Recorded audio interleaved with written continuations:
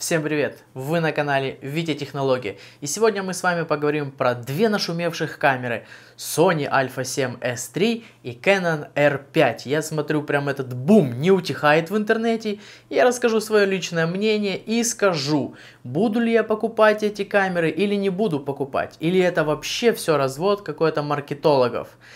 Погнали! Погнали!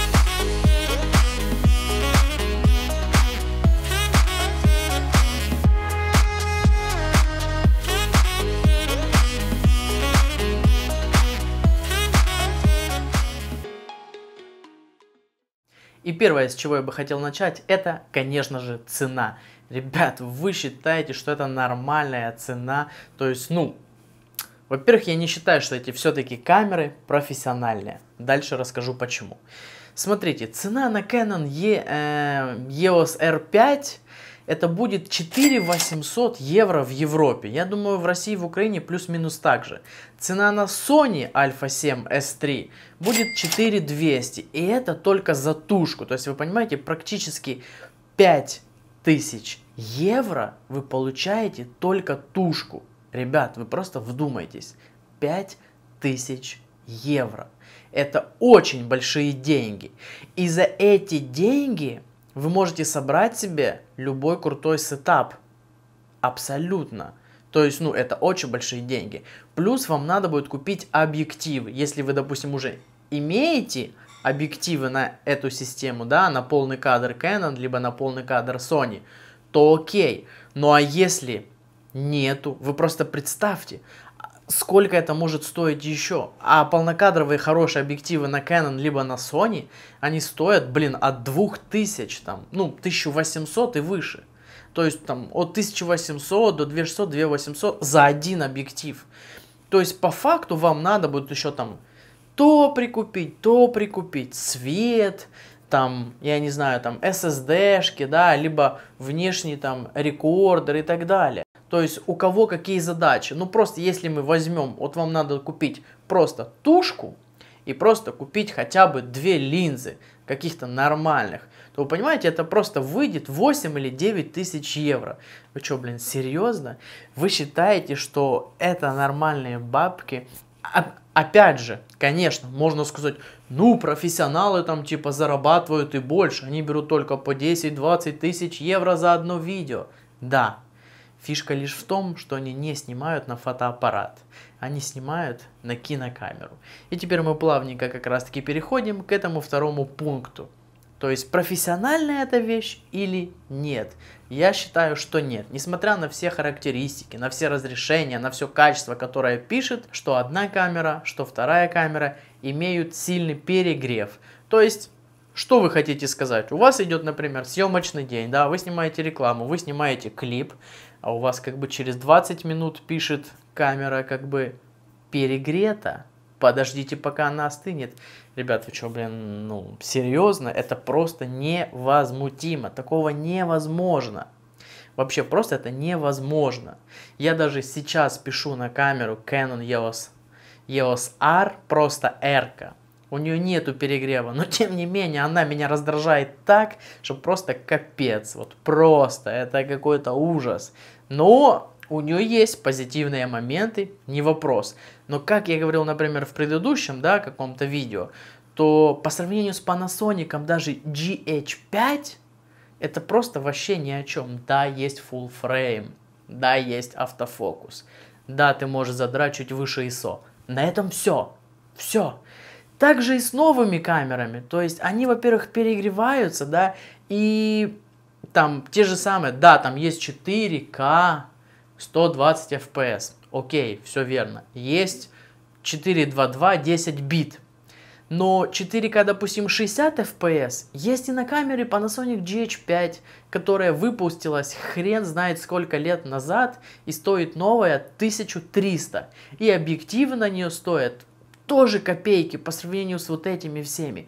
И вы также на эту камеру можете снимать профессиональное классное видео. Если вам чем-то не устраивает Panasonic, либо какая-то нелюбовь к этому бренду, вы можете себе взять Blackmagic. Blackmagic тоже стоит 1200-1300 евро. И снимать себе там в ProRes, там в RAW, как вам угодно. И все у вас будет хорошо. Также дешевые объективы. Единственное, что вам надо будет для Blackmagic, это решить проблему с батареей. Вы можете взять, там есть сейчас такие кейсы уже там на большое количество тысяч миллиампер, да, либо закупиться батареями, либо сразу питаться там, не знаю, там от павербанка, либо от чего-то еще. Все, но это профессиональный инструмент, который именно работает. Как Panasonic GH5, как Blackmagic, вы можете себе даже взять Blackmagic э, 6K, он стоит там 2000, там 2200 и на него тоже подходят кэноновские объективы. Вы на него можете и кробнутые объективы садить, и все что угодно. И горе не будете знать. Это профессиональный инструмент для записи видео. Если вы хотите и снимать и фото, и видео, пф, вам вполне хватит обычной, обычной Соньки, просто там Альфа 7, либо этого же там Кэнона. Хотя я скажу честно, я и на Panasonic снимал прекрасно и фото, и видео, и проблем у меня вообще с этим никаких не было. Потому что это действительно был профессиональный инструмент. Потому что тот Canon, которым я сейчас пользуюсь, ну вот реально, у меня язык не поворачивается назвать это профессиональным инструментом. Да, вы можете на нем зарабатывать деньги, как и на других камерах. Абсолютно. В этом нету никаких проблем.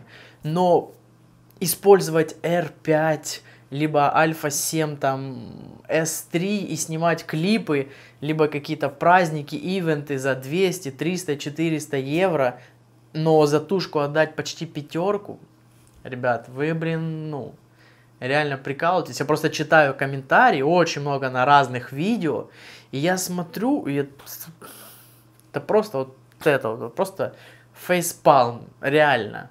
Это просто какой-то кошмар. Вы реально вообще не думаете своей башкой. Это все долбанный, блин, маркетинг. Вам напичкали каких-то там этих характеристик на бумажке, на том, на сем. Но по факту, по факту, на YouTube, опять же на YouTube, а большинство роликов будут все равно после съемок перемещаться на YouTube, то вы не увидите никакой, черт подери, разницы. И я ее практически не вижу ни с Соньки, ни с Кэнона, ни с других камер, ни с Blackmagic. Оно на YouTube все смотрится плюс-минус одинаково. То есть обычный человек, э, то бишь клиент-заказчик, то он вообще не увидит и не поймет никакой разницы. Вообще никакой. И единственное только, если вы действительно хотите быть профессионалом, потому что настоящие профессионалы, они не будут смотреть вот эти вот все обзоры, я в этом ну, на 99,9% уверен, они возьмут себе просто в аренду нормальную Ари, либо Red, либо там еще какую-нибудь, да. Ну, если, допустим, не сильно какой-то супер там крутой бюджет, то берут какие-то попроще. Тут же самое там Black Magic, там Урса или что-то в таком духе, да. Все. Это единственный профессиональный инструмент, это кинокамера. А это фотоаппарат в первую очередь фотоаппарат. Хотя Сонька нацелена больше на видео, конечно же, а Canon это в первую очередь гибридная беззеркальная камера. Ну, это по факту фотоаппарат. И я уже понял на своем, так сказать, опыте, что я пока остаюсь, да, например, на Canon EOS R, хотя я, честно говоря, не особо доволен ей. И даже в какой-то степени жалею, что продал Panasonic GH5. Потому что это совершенно другой level. На эту камеру, тут что-то на ней пойти где-то, что-то быстро снять, да это какая-то дичь. Тут вообще нету матричного стаба и, в принципе, качество, динамический диапазон, который она, ну, выдает, ну, она стоит 2000 на секундочку. Мне просто смешно. 2000 стоит реально там сейчас Blackmagic 6К. 1900 стоит Panasonic S1. Ну, я не знаю, ну, это же небо и земля по сравнению с вот этим. Кто скажет, да, нету там автофокуса. Так автофокус тоже работает как попало. На профессиональных съемках вы все равно не будете пользоваться автофокусом, потому что он все равно работает как попало. Единственное место, так сказать, где можно воспользоваться автофокусом, это запись вот таких вот блогов для YouTube, да, и у меня работает автофокус, либо запись каких-то там мероприятий, там день рождения и что-то еще, либо каких-то малобюджетных клипов. Все, все остальное, элементарные какие-то съемки, не может работать нормально автофокус, не может. Даже хваленый Dual Pixel. Я пробовал на него снимать какие-то более-менее коммерческие ролики, хотя тоже какие-то были дешевые. Это невозможно. Оно просто криво пишет. Ну, оно не то, что криво, оно не пишет так, как я хочу, правильно? То есть мой мозг, он понимает картинку и видит по определенной, так сказать, э, по определенному алгоритму.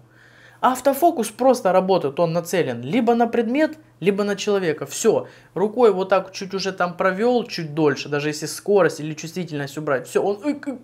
Все, это уже не то.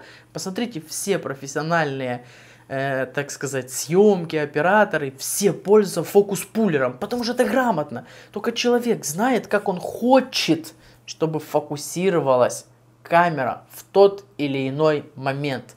Все больше никто не знает. Автофокус это реально, ну вот, как я сказал, это съемка каких-то непонятных там бюджетных съемок, либо съемка для YouTube. Все, все остальное реально мануал решает. Все. Поэтому я, честно говоря, не понимаю, на кого эти камеры рассчитаны. Профессионалы брать их не будут. Любители – но ну, для любителей 5000 за тушку, извините меня, это не шутки. Это реально не шутки. Единственное только, опять же, я говорю, что в этих камерах хорошо, это то, что они теперь могут писать и RAW, и 10 бит 422. Но опять же, в камере Blackmagic и Panasonic за 1300 евро новые. Это уже было хрен знает сколько лет назад.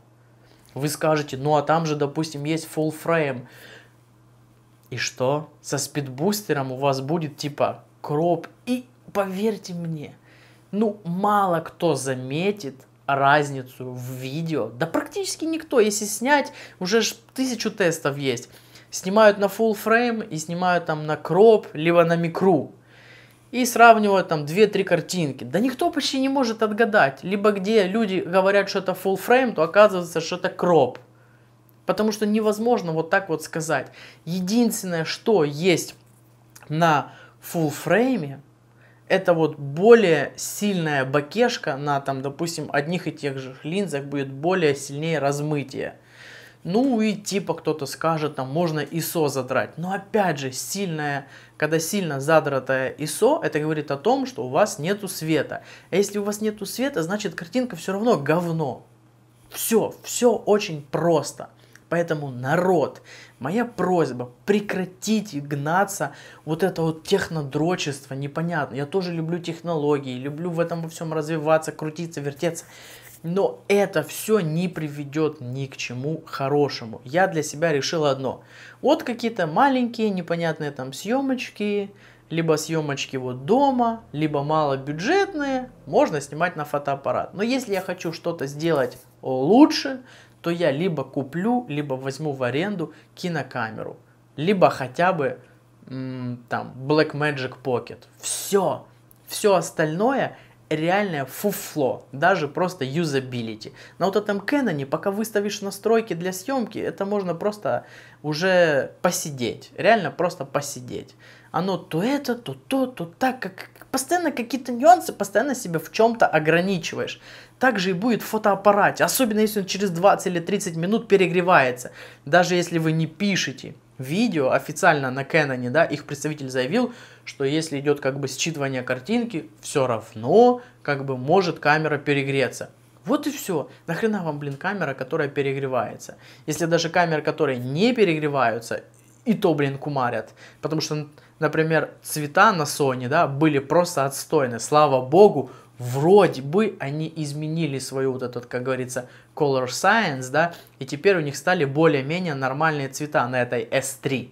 Потому что до этого я, например, почему я себе Canon не, почему я себе Sony не покупал, это потому что цвета, ну, были, ну, реально, кому как, там нравится, но я считаю, что цвета были просто полный отстой. Вот полный отстой, я снимал на эту камеру, я брал у друзей, они мне скидывали файлы. Ну, это реально на любителя. Да, если вы там Sony дрочер, либо фанат, и вы ей пользуетесь. И есть такая темочка распространенная, каждый хвалит свое болото. Вот и все. Я вообще ничего не, не хвалю особо. Я просто говорю, что вот у меня был опыт с этим, был опыт с этим, был опыт с этим. И я сделал такие выводы. Хочешь что-то круто снимать, бери кинокамеру. Все. Либо реально там Fuji X-T3, X-T4 и Panasonic GH5 это самые бюджетные гибридные камеры, на которых тоже будет классная картинка. Потому что там уже 10 бит были хер знает когда. И картинка там нормально красится, у нее нормальный динамический диапазон и хороший битрейт. И даже эти камеры используют для небольшого бюджета какие-то рекламы, там съемки клипов. Да, и они смотрятся абсолютно нормально. Потому что, к сожалению, полнокадровые гибридные камеры были, как мы все видели, постоянно с какими-то нюансами, с какими-то минусами. То стабилизатора нет, то того, то цвет говно, то 10 бит нету, то, например, как вот этот вот Canon. Типа, нету даже motion. Типа motion только в, 7, в 720p. Это я говорю сейчас за R, да, EOS R. 2000 евро стоит тушка, на камере нету slow motion. Только 1080 60 FPS. Так тут Full HD на нем, оно такое говняное, что просто капец. Здесь 4К, 4К с битрейтом там 480 мегабит, пишет, как у меня Panasonic писал Full HD. Это смешно, но это правда. Опять же, на YouTube много кто этого вообще не заметит. Единственное, кто это замечает, то это я. Тот человек, который садится и монтирует. Только вы сами будете видеть эту разницу. Клиенты вообще нахрен ничего не видят. Им хоть ты с Panasonic снимай, хоть с Canon, хоть с Alexa. Он разницы не поймет, пока ты конкретно не сядешь с ним там на монтажку, не покажешь какие-то нюансы, и он тогда тут посмотрит, хм, не, ну да, действительно, в руках разница есть. Это уже доказано и показано на практике. Вот и все. Поэтому единственное, что я вам хотел посоветовать. Не ведитесь на вот этот постоянный э, бред от маркетологов, которые хотят постоянно подцепить, подцепить, зацепить, развести на лаве. Нет. Реально думайте, блин, головой, включайте мозги, не ведитесь на всякую эту дичь, и все у вас будет окей. Причем весь этот бред не только наши там русскоязычные, да, там блогеры, наши как раз таки русскоязычные блогеры еще более-менее, более-менее, как раз таки некоторые говорят правду. А вот на англоязычном, который все нахваливают и говорят, на нем абсолютно есть все. Да, конечно же, все-таки англоязычных людей очень много, и там очень много чего показывают. Но как я смотрю, большинство англоязычных блогеров показывали про эту Альфа 7 S3 просто какой-то бред ну, реально бред. Там что-то рассказывают, понятное дело, им там заплатили, дали то да все, они все зарабатывают деньги. Зарабатывать деньги это круто. С точки зрения бизнеса это вообще как бы огонь, вы ведете канал, ну, ребят, я тоже много чего смотрю, но вы должны реально фильтровать информацию. Где показывают за бабки, где рассказывают правду. Вот и все. Не надо лететь за этими непонятными вещами и характеристиками на бумажечки. Потому что в жизни все абсолютно иначе. И я хочу сказать, что если вам понравилось это видео, поставьте ему лайк, напишите свой комментарий, что вы думаете по этому поводу. Вдруг у вас есть свои возражения, мы можем с вами это обсудить. А мы с вами увидимся в новом видео. Пока!